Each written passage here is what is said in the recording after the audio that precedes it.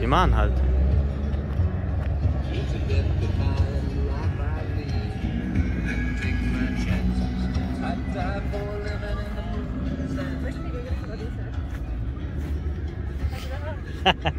yeah.